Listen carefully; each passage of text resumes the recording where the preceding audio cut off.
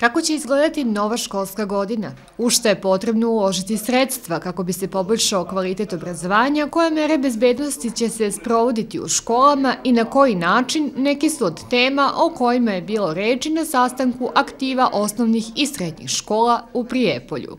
Osnovni naš cilj je obrazovanje i vaspitanje učenika, ali ne treba ni zaboraviti na bezbednost učenika, uslove rada, sistem rada i ostale, da kažemo, bitnosti cijelog procesa obrazovanja u našoj opštini.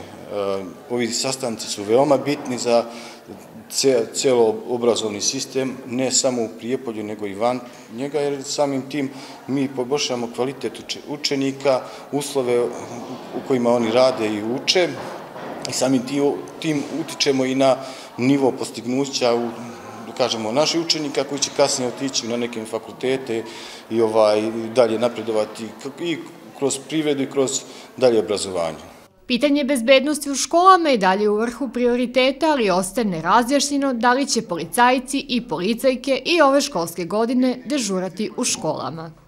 Mi smo imali dobru saradnju sa Ministarstvom unutrašnjih poslova, međutim, e, malo je tu bilo nejasnoća oko angažovanja tih policijskih službenika koji su bili ovaj, u školama.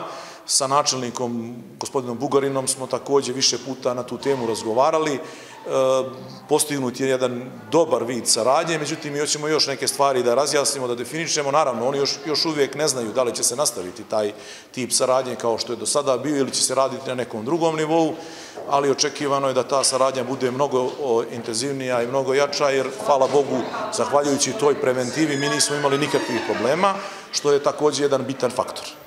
Još jedan od bitnih aspekata o kome je bilo reči na sastanku je i unapređenje uslova rada prijepoljskih džaka.